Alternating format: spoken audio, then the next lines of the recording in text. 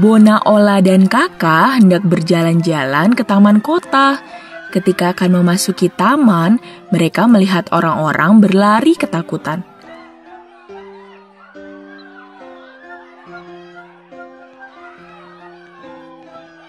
Ada monyet lepas! Teriak seorang bapak. Namun ketiga sahabat itu tetap memasuki taman. Mereka terkejut melihat seekor monyet memakai kacamata sedang merebut kacamata seorang nenek. Tolong! Teriak nenek itu. Kita jebak dia, bisik Bona.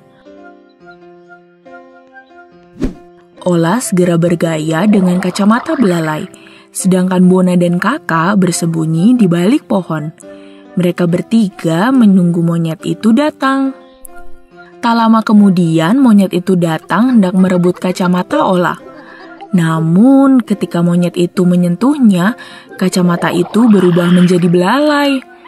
Dengan cepat Bona menangkap monyet nakal itu dan mengangkatnya tinggi-tinggi. Sementara itu, Ola dan kakak mengembalikan kacamata yang diambil si monyet kepada pemiliknya.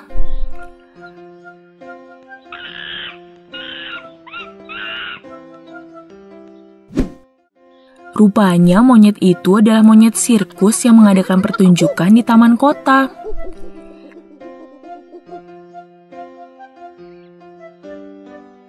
Terima kasih.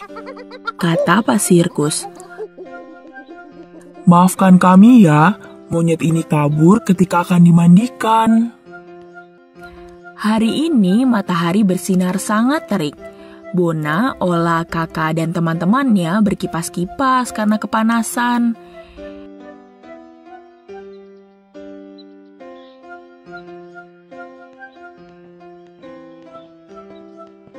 Eh, eh.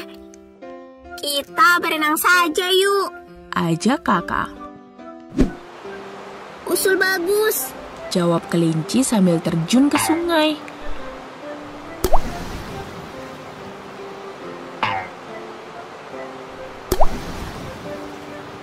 Ola dan kakak juga ikut-ikutan berenang.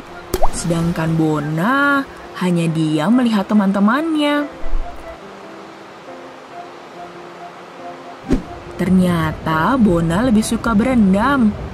Lihatlah, ia bersandar dan mengangkat belalainya ke permukaan air agar bisa bernapas.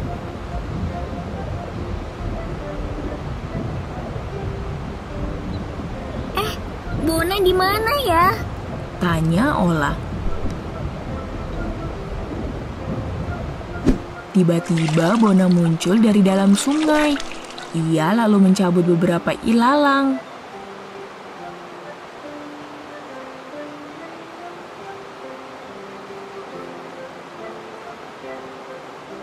Berendam saja seperti aku. Pakailah ilalang ini untuk bernapas dalam air. Jelas Bona.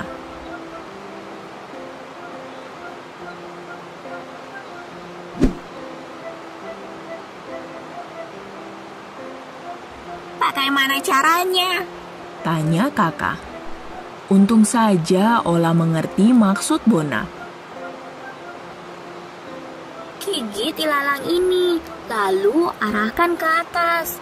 Jelas Ola pada kakak dan teman-temannya. Kakak, landak, kelinci, dan binatang lainnya mencoba memakai ilalang itu. Betapa senangnya mereka dapat berendam seperti Bona. Sekarang mereka tidak kepanasan lagi.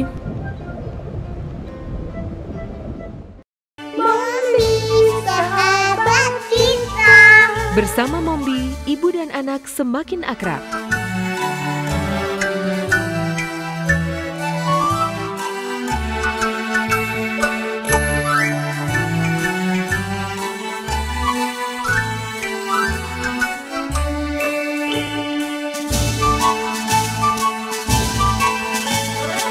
Yeah.